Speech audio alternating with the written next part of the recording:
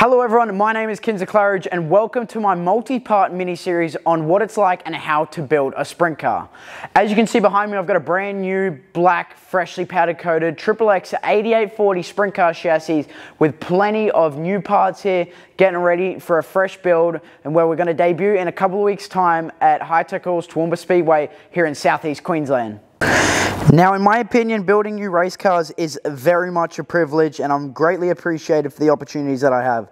And I'd really just want to bring everyone along for the journey what it's like to build a sprint car, how to do it, how I do it, you know, some tips and tricks for some people that have never built race cars before. As you can see, this is a Triple X sprint car chassis supplied by Brad Hilder in Ormiston, southeast Queensland. Countless hours and hours go into building a sprint car, from fitting bodies to making components work to things that shouldn't, plenty of different things and it just takes time. It takes lots and lots of time. And I'm gonna try and shrink that down into a couple of videos for some viewers to watch and understand what it is actually like to get behind the wheel of one of these beasts and to get them prepared, ready, built, everything. And first off, we're gonna start by fitting the fiberglass body.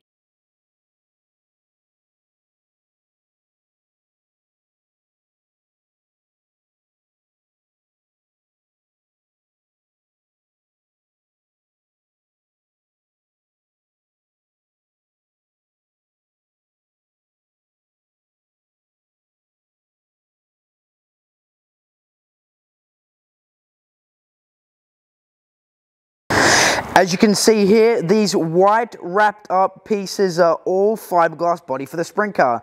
This here is the hood, this is one of the arm guards, the other piece here is the other arm guard, the front scoop. There is plenty of pieces that come into a sprint car body. We've got the aluminium lower tins that go around down the bottom here, and then the fiberglass body that sits around the top. Now, sprint car bodies really are a work of art, from engineers and mechanics building things that are going to help the car's aerodynamics, cooling the motor, plenty of different things. There's lots of reasons why different chassis run different body kits. Now right here we've got a few bits and pieces of what it takes to build a sprint car. Now right here we've got a motor plate which is what bolts the motor to the chassis. We've got the torsion arms which are all suspension components. Front wing posts which mount the front wing to the chassis. Radius rods which are also components that hold the front axle and the rear axle in position and in alignment. Here we've got a KSE Stingray wing valve and wing ram kit. We've got a steering uh, Gen 2 half box steering bracket, aero wing tree, tie rods, drag links, Nerf bars, diffs, front ends, an assembled front end. We've got plenty of pieces here to keep us busy in the meanwhile while waiting on new parts as well. Now what I've got up here is a wrapped up black dash for the sprint car. And basically what this does is it mounts the gauges, switches, MSD box, everything that we need to hold for the sprint car, for the electrical components, etc. So I'm just gonna grab my Stanley knife and cut this thing open. Now this car is gonna be predominantly brand new, pretty much all new equipment except things like the diff and that, which are all extremely expensive nowadays and it costs a lot of money to get new ones. So we're just gonna reuse old equipment that's still in perfect condition. Unwrap first layer of plastic off this dash. Did look at that. That is beautiful. See now this, all this body is practically made of fiberglass except the lower tins. Now right here is our Triple X dash. And what this is, is this is how the driver seat from the cockpit. This piece right here is what the throttle bell crank goes through. So the throttle can go from the pedal to the motor. Gauges get mounted along this lip here on the dash. And basically here is what we mount our hood, how we mount it to the dash through these pieces here, Dzus clips through there. And so that's basically what I'm doing is I'm getting this fitted and mounted up, getting everything ready, get the Dzus clips sorted. We've got to cut out a hole for the steering box, I believe, on this side. And yeah, so what I like to do is I like to get my motor plate set in just nice. And so when, when I put my dash in, I know where everything's gonna sit and just so the dash can sit nicely with the motor plate. There's no issues when mounting everything. You know, just so everything's really, really nice. Because we're building a brand new car, we want everything to look really good. Now, when it comes to sprint cars, not only do we want a nice car, but we also want practicality. As when we're working on these cars, we want things to be easy, nice to put together, and be able to change quick if we need to change something in emergency, like quickly at the track, or just, just things that need to happen fast, because we're in a fast sport. We're sprint car racers. This is what we do. We go fast. So now I've got my four titanium bolts sitting. The motor plate's just sitting in there nicely, not really tight or anything. So now what I'm going to do is I'm going to get the dash sitting up here above the motor plate, get everything fitted, and we'll get it all sorted. So basically just going to grab this piece and sit the dash in here like that. And it goes around these tubes here. And it sits in there pretty nicely like that. Oh, got to make it fit around this piece that holds the bell crank. And as you can see, a lot of this stuff fits pretty nicely. The guys at Triple X do a really, really good job. And yeah, that's, that's pretty well in there. So now basically what I'm gonna do is I've got to get the holes marked up for the Dzus clips. So there's one, two, there's about seven or eight Dzus clip holes that have got to be drilled so our Dzus clips can mount the dash solid to the chassis. The guys at Triple X actually made this really simple when they knew you were going to be mounting these dashes by yourself. So what they did is they created this lip here. So then what the dash does is it does you're not going to mount it any lower than it needs to be because the dash is currently sitting on that lip right now so I know that's exactly where that dash is going to be and so basically what I made for this car is this kind of pointy little Dzus clip here. It's not the best piece of engineering I've ever made, but it's a sharp Dzus clip. So basically what I'll do is I'll sit this behind the body and then you tap on the body and what it'll do is it'll make a little endeavor, dent, whatever you want to call it, into the fiberglass body, which tells me exactly where I've got to drill the hole. Here, for example, you can see we've got a small Dzus plate where I'm going to sit this Dzus clip in, sit it just like that, and now the fiberglass sits nice against that. And what I'm to do, I'm to give it a tap. And that has actually just made a little dent. I'm to give it another go. Just a couple of taps. And the sharp piece of the Dzus is actually making a little dent. I'll try and get so you can see. See that little white piece there? That's a cut. And what that Dzus piece did is that cut a little divot into the fiberglass so I know exactly where to cut. You can buy these from plenty of places like All Star Performance and that, but I was in a bit of a jiffy and I didn't really have anything that would help me mount it. And the Dzus spring's already riveted into this thing, so I couldn't drill from behind the Dzus plate. So what I did was made this little piece. I just grabbed a Dzus clip that's got a wing on it. I'll show you what that looks like right now.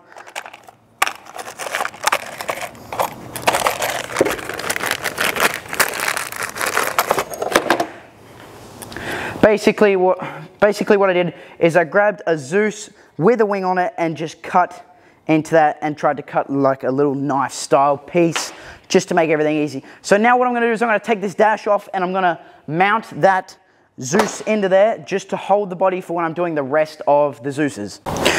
As you can see here, I've now got my Dzuses that I got from Brad Hilder. And what I'm gonna do is I'm gonna measure what the diameter of this Dzus clip is. So that is 10.2 mil. So what I'm gonna do is I'm gonna grab a 10 and a half mil drill bit now, and then I'm gonna drill that hole into the fiberglass. So now I've got my 10 and a half mil drill bit on my Makita drill, and it's time to get drilling.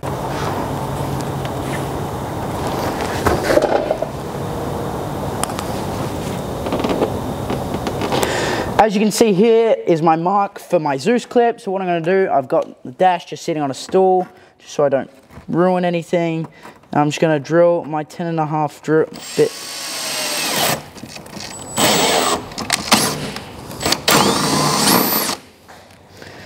Nice and easy.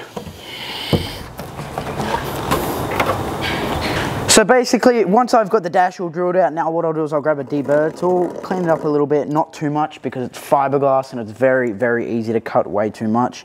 Now, Dzus clip goes in, Oh, in, just like that. So after some double checking, this is exactly how this air duct goes. It wraps around the chassis rails just like this.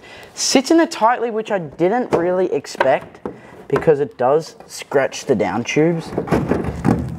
but that must just be how they want it. Now, to me, that is a bit annoying because although you don't see it, when that nose cone is now off, that is gonna scratch like crazy along these down tubes. Okay, that is how it sits. And it absolutely scratched it to oblivion. Which is extremely annoying, but what are you gonna do? So basically, again, now what I do is I get my knife like Dzus clip, just sit that in the Dzus plate under the air duct here, if I can get it.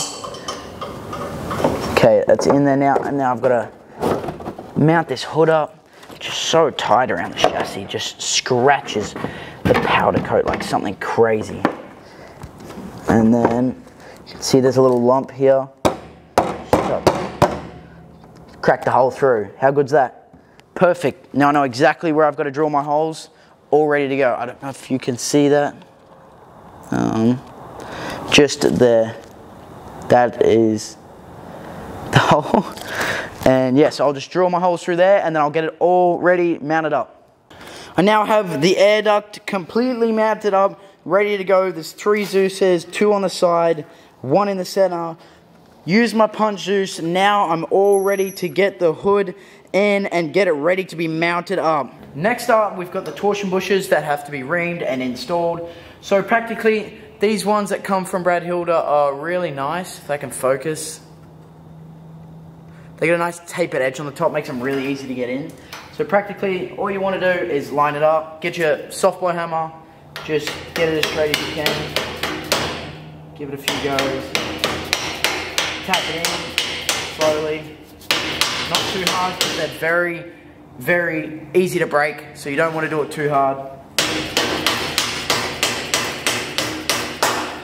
Right, that's one in. Now we've got seven more to go.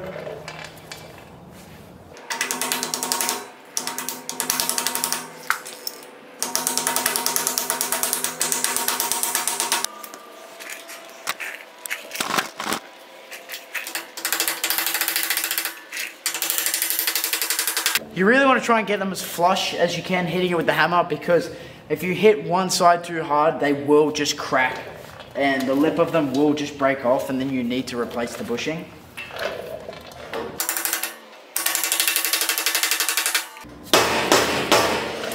Once all the bushes are installed, pretty much what we've got to do is we've got, got to grab a really cool tool so basically what we do now is we get this really awesome tool called uh, torsion bar reamer and what this does is it's got these blades here on the end and that pretty much just spins in the nylon bushing, cuts it out and makes it the perfect diameter for a torsion bar to sit in there and spin freely.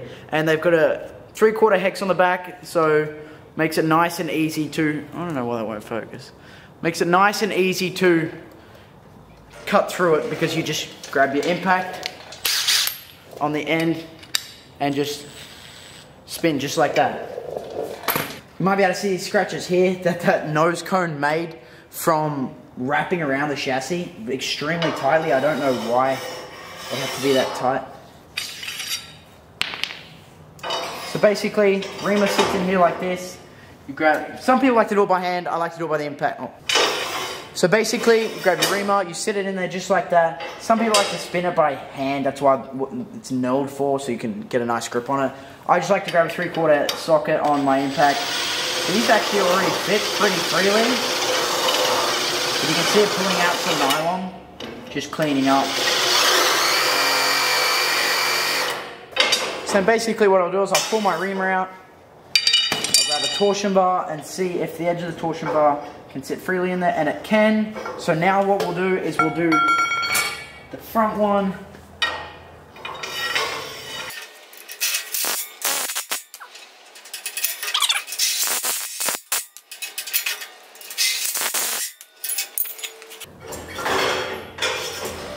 This goes in there nice and freely. So now we'll switch to the other side.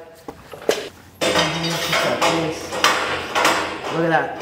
That one don't even you can't even catch that one in. That one should be perfect. Then this back one needs a fair bit taken out of it. I can feel it. It's really tight to get in there.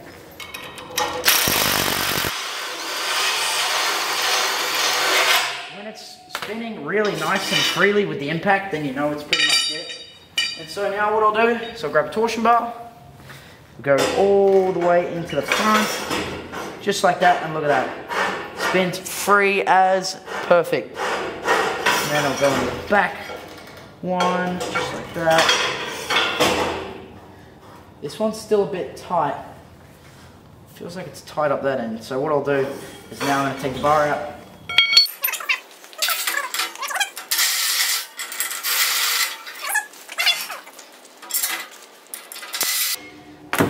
free.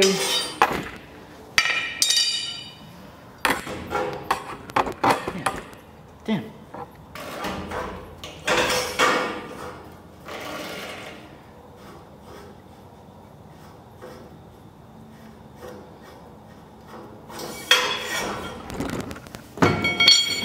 Perfect.